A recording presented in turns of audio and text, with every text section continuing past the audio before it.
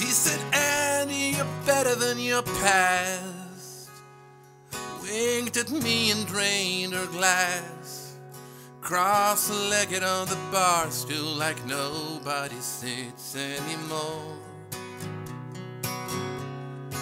She said, Andy, you're taking me home. But I knew she planned to sleep alone. I'd carry her to bed and sweep up the hair from her floor. If I'd fucked her before she got sick, I'd never hear the end of it.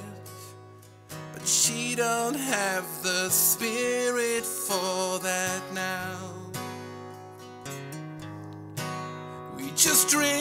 these drinks and laugh out loud.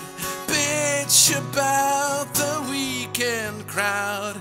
Try to ignore the elephant somehow.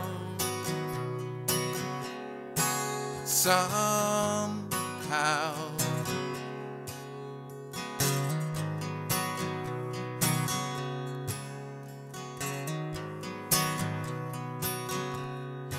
She said, Andy, you crack me up.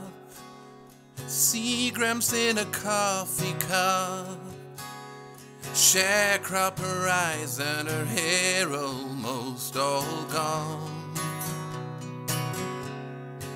When she was drunk, she made cancer jokes. She made up her own doctor's notes. Surrounded by a family, I saw that she was dying alone. I'd sing her classic country songs and she'd get high and sing along. But she don't have much voice to sing with now.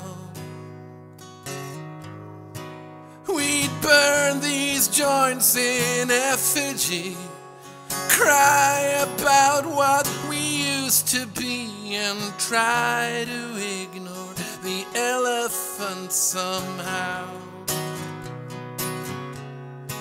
Somehow.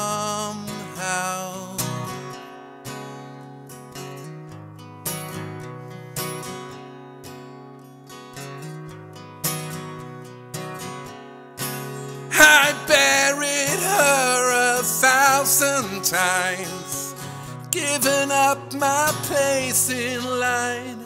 But I don't give a damn about that now. There's one thing that's real clear to me. No one dies with dignity. We just try to ignore the elephant somehow. Just try to ignore the elephant somehow. We just try to ignore the elephant somehow. Somehow. Somehow. Somehow.